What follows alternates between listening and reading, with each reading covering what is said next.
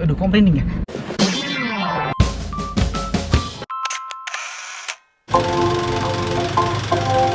We're going to Bandung.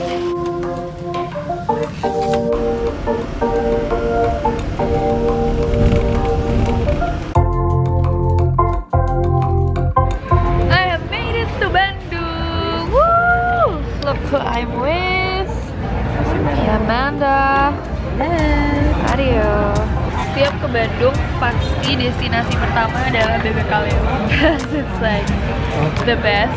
So we're gonna have lunch first, and I will talk to you in a minute. So ini kamar aku nomor 100. Lihat kamarnya, room review. Yada yada yada, mirror mirror mirror. Oh, it's alright. You got another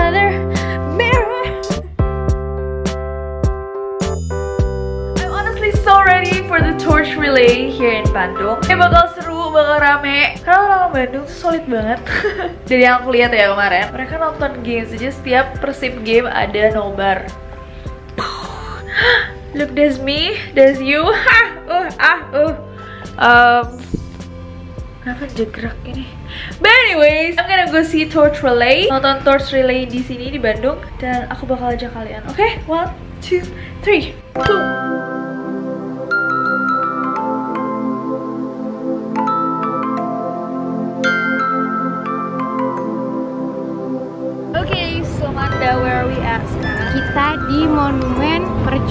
Rakyat Jawa Barat. Ya merepresentasikan gitu kan sih bahasanya Perjuangan Rakyat Jawa Barat untuk meraih independence. yes untuk meraih kemenangannya meraih eh, kemerdekaannya. Kemerdekaan Indonesia. betul betul betul. It's really cool ya.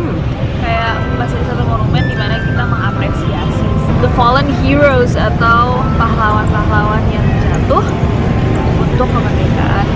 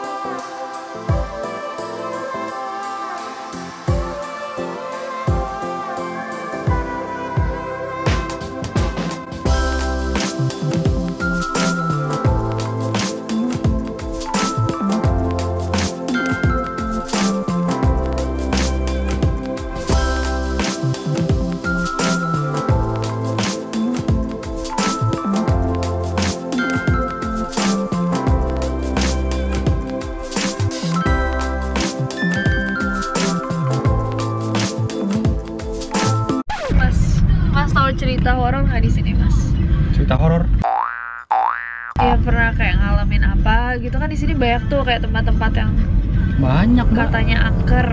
rata-rata tuh jalan itu jalan Siliwangi. Jalan Siliwangi. oh kisahnya tuh anak kecil pulang eh, minta mainan kan dibeliin mainan. Nyampe di rumahnya eh, pas nyebrang tuh dia ditabrak angkot.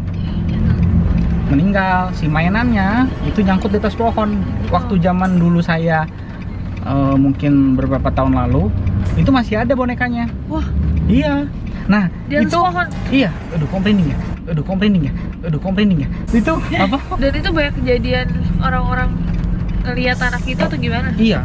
Jadi biasanya anak itu kalau nggak naik ikut mobil gitu. Kalau nggak dia berdiri aja di pinggir jalan. Ada tuh yang katanya di SMA 5 tuh ya. ya itu si ini siapa nama Nancy. hantunya? Nancy. Sampai sekarang juga suka ada sih jadi satu jendela yang selalu terbuka jadi walaupun semua ke- jadi kan jendela SMA 5 tuh banyak mbak. Hah. jadi satu jendela itu jarang nutup.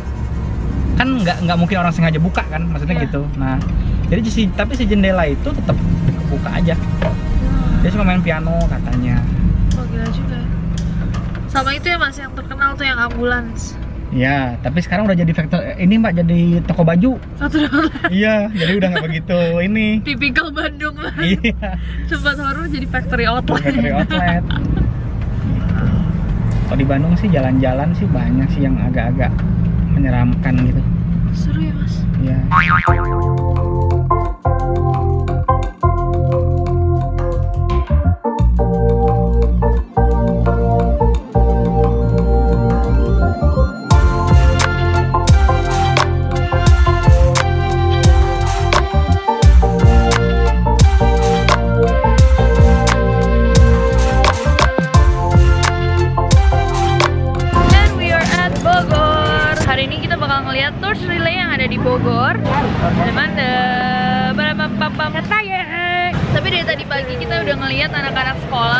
Sudah duduk berbaris rapi cantik sekali mau menyambut relay.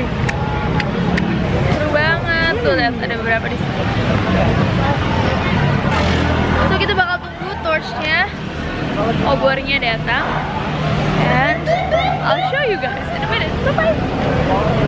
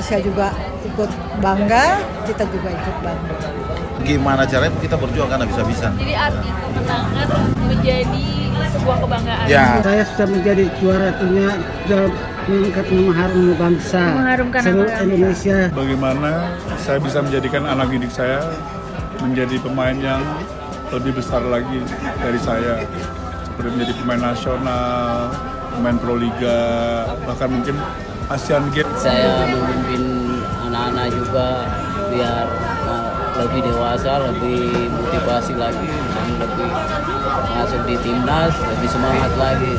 kemenangan itu kebebasan kita lebih berkarya lagi kalau dari Kebebasan segi berkarya? berkarya kebebasan berinovasi Berinovasi. ya pokoknya hal yang mengarah ke buat motivasi juga buat orang lain gitu seperti itu. Kemenangan Personal aja tentang dari hidup Mas gitu. Apa menurut Mas kemenangan itu? menurut saya kemenangan adalah kebahagiaan. Kebahagiaan. Uh, kemenangan berarti itu kebebasan menurut saya ya Uh, bebas berbicara bebas berpendapat bebas melakukan apa pun tanpa ada belenggu dari hal-hal lain itu kemenangan ya iya Kalau saya kepikirannya keluarga sih, karena saya selama ini ya berjuang tinggal untuk keluarga aja. Yeah!